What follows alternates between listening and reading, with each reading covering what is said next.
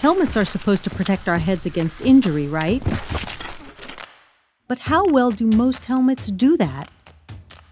Obviously, this particular one is, is, is for NFL. Most helmets don't really do a good enough job, says Professor Bob Knight, who has spent his career studying the human brain. Now he's building a new helmet to better protect against the kind of brain damage caused by not just big blows to the head, but also those more common smaller jolts that rattle the delicate brain. The brain is a very soft structure. It almost has the structure of a jello most people think that the, the, the skull is like a, a, an eggshell. It's perfectly smooth and the beautiful brain sits inside, but it's not true. The inside of the skull is actually replete with bony ridges. And these bony ridges, when there's force to the skull and the brain starts bouncing around, produce all kinds of damage.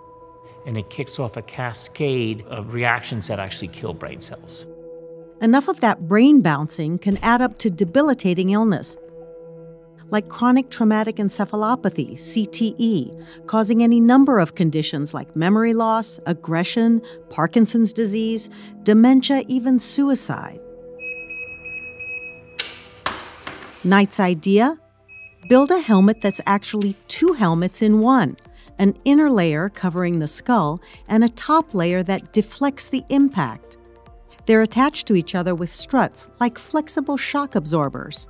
So the internal shell is attached to the brain, and then there's a second shell that's attached with a strut mechanism, just like struts on bridges. And the external shell, when it's hit, it moves. And, and the struts, which are attached, absorb force and diminish force. Perfect. So we get the same force. Knight and his team call their startup Brainguard. Another key part of the Brainguard design is the type of padding used. This is the padding material you saw in the helmet. It's a very thin piece of it.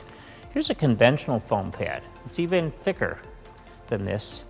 Watch what happens when I drop a ball on it. If the ball bounces back up, it means the material didn't absorb energy. It's actually just bounced, it went right through and bounced off the wood.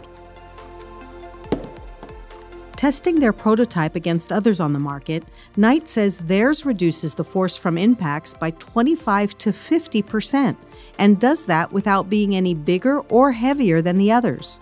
We could put it inside a hockey helmet, bike helmet, a snowboarding helmet, a construction helmet.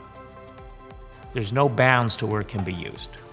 My dream is that someday my seven year old granddaughter is going to be wearing a bike helmet that's well designed. If she has that one time she falls off her bike, she's going to get a dramatic decrease in the chances of her getting a serious brain injury.